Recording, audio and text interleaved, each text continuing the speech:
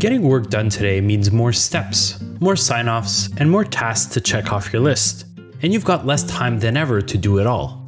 Airtable automations can help you centralize, speed up, and take control of your workflow. With automations, you can create custom rules that run automatically. Just choose a trigger and a corresponding action, then let automations do all the work. Stay on top of incoming requests with tailored notifications.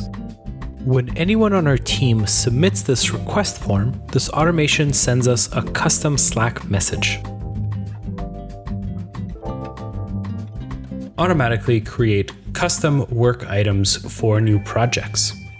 When we start work on a new campaign, this automation creates related tasks for us. And even send information to other applications right when your process requires. When we set a tweet as ready to publish, this automation posts it directly to Twitter. To get started, open the Automations panel on the right side of any Airtable base and click Create an Automation. Every automation starts with a trigger. It's what sets your automation in motion. This example automation will trigger every time a record tagged with the Twitter channel has a status of ready to publish. Each trigger sets off an action. This is what you want the automation to do.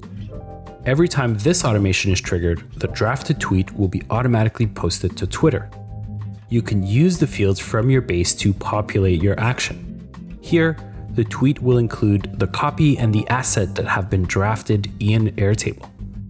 You can also set up multiple actions for a single trigger, so that each automation does more for you.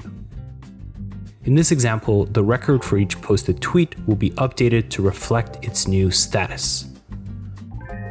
Once you've created your trigger and action, turn your automation on and watch it go.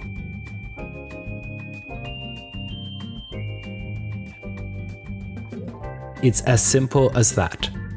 Go ahead and automate whatever steps you need, from sending custom messages to eliminating repetitive tasks by building your own automation now.